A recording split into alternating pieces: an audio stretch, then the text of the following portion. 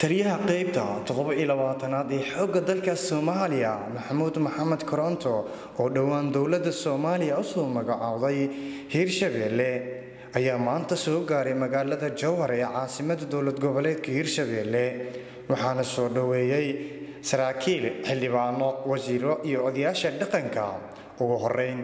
waxaa hadallo soo dhoweyn halkaa ka soo jeediyey mid ka mid ah saraakiisha ciidanka xoogga dalka soomaaliya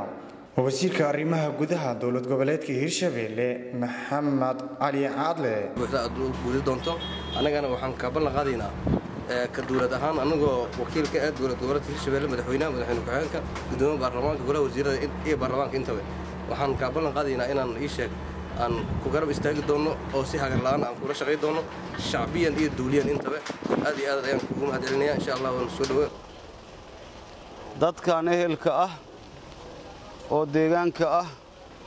oo eeldareedka ah oo odayaasha ah oo dhaqanka ah hadba cidbasay u taqaan.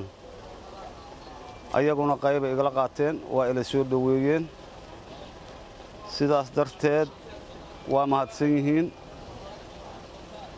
Haddii ay yihiin warfidayeennada ama ay yihiin odayaasha dhaqanka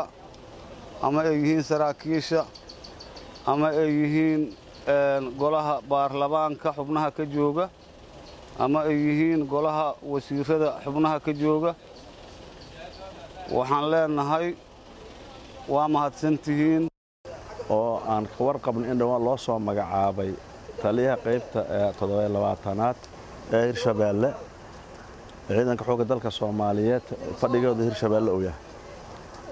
Waxaa farxad noo ah annaga ciidamada meeshaa noo joogay qaarna waxaa laga xukumayay shabeellaha hoose. Qaarna waxaa laga xukumayay galguduud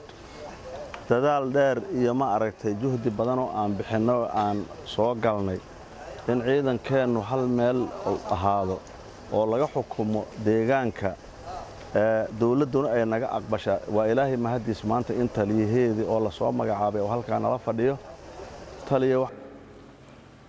ugu dambayn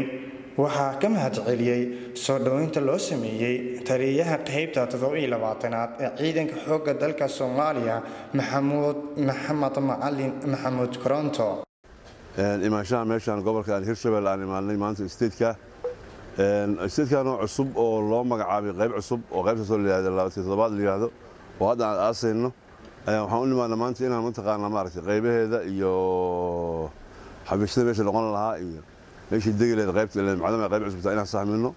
kadibna aan kala warqaadano maamulka hirshabeelle sida ay ka bilaawda goli wasiiradii xildhibaanadaas aragnay bacda madaxweyne waa is arki doona daalada madaxweyne ku-xigeenkaba howshan intaas ku dhammaan doontaa annagu hadda waxaan nahay sahan